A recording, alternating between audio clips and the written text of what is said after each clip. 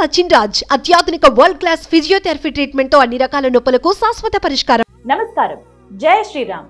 అయోధ్య రాముణ్ణి రామ్లల్లాగా ఎందుకు పిలుస్తున్నారు? రాముడికి రామ్లల్లాకి తేడా ఏంటి? మరికొద్ది రోజుల్లో అయోధ్య రామ మందిరం ప్రారంభం కానుంది. రామాలయంలో శ్రీరాముని విగ్రహ ప్రతిష్ట అత్యంత వైభవంగా జరగనుంది. రామ్లల్లా విగ్రహ ప్రతిష్టకు ఏర్పాట్లు ఘనంగానే జరుగుతున్నాయి. అసలు ఈ రామ్లల్లా అంటే ఏంటి? రాముడు రామ్లల్లా ఒకటి కాదా? దేశంలో ఇప్పుడు అయోధ్య రామాలయం మాటే ఎక్కువగా వినిపిస్తోంది. మీడియాలోనూ రామమందిరం ప్రారంభోత్సవం ప్రత్యేకతలు వంటి ప్రసారాలే ఎక్కువగా మనం చూస్తున్నాం కదా.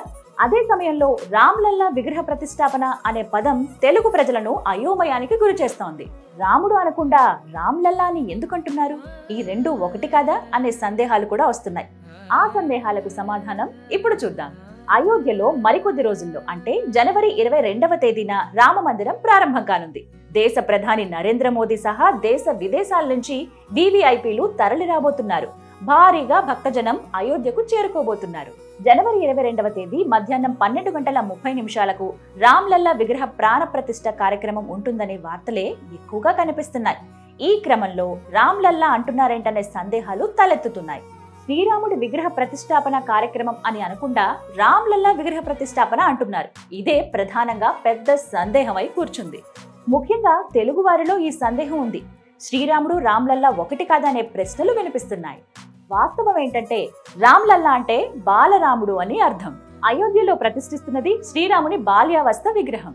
అంటే బాలరాముడి విగ్రహాలను రామ్ చరిత్ మానస్ రచించిన తులసీదాస్ బాలరాముణ్ణి రామ్లల్లాగా అభివర్ణించారు. అందుకే ఉత్తరాదిన బాలరాముణ్ణి రామ్ లల్లాగా పిలుస్తారు.